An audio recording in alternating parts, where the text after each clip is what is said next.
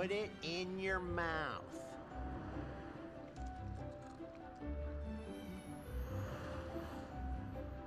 Now move your teeth up and down.